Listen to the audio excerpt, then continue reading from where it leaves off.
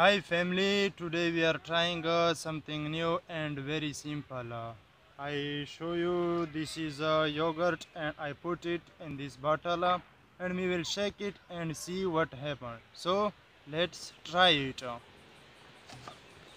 First of all I cut. Now we will open uh, this one uh, and put it. Now finally I put it uh, into the bottle. Uh, now this is the empty baggage. So trash it. Now I have uh, some of the ice. Uh, now it's uh, a little bit hot. so for the cooling purpose you can use this.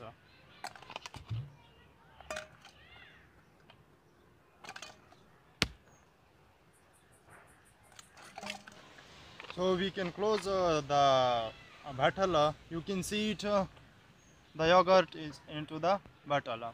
Now, so we can shake it.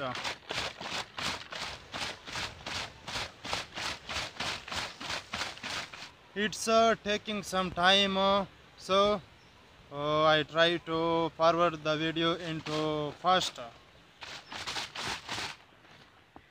So dear family, it almost uh, finished. Uh, now I am put it into. Now you can see the final result uh, here. Uh, the yogurt uh, that we put in the bottle uh, and shake it uh, now. It's uh, in another form.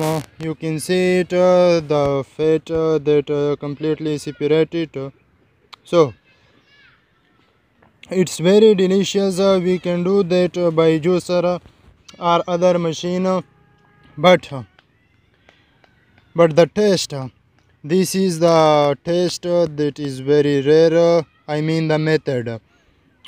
So like and follow